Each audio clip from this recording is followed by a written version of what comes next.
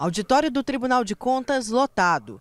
Todos para prestigiar mais uma turma de formandos do curso de operações de inteligência da PM.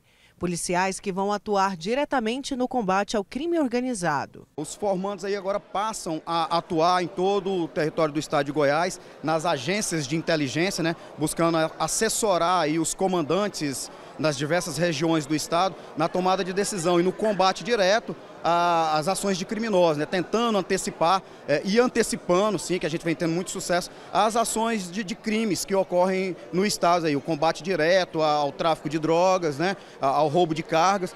A turma leva o nome do governador Ronaldo Caiado, que destacou durante a fala dele os bons números do estado no combate à criminalidade. Eu sabia muito bem que não governaria e que não tem como você ter Estado democrático de direito sem que você tenha segurança pública.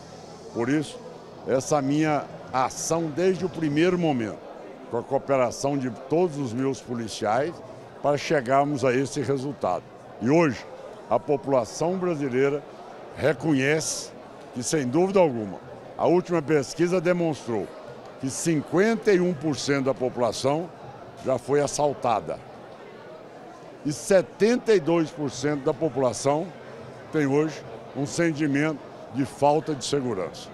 Então você vê que aquilo que o Estado de Goiás, com suas forças de segurança, hoje nós damos, proporcionamos aos 7 milhões de goianos, é algo que não existe fora de Goiás.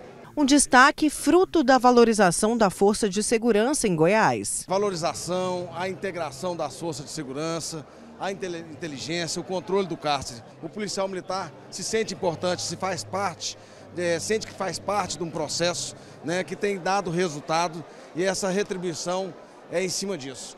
E o que confirma ainda mais que Goiás é referência em segurança pública para o Brasil é que dos 71 formandos no curso, 14 são de outros estados, como Mato Grosso, Rio Grande do Norte, Bahia e Acre. A Polícia Militar se orgulha muito de ser hoje referência na atividade de inteligência no todo o território nacional, devido assim à sua efetividade no combate principalmente ao crime organizado e às facções criminosas.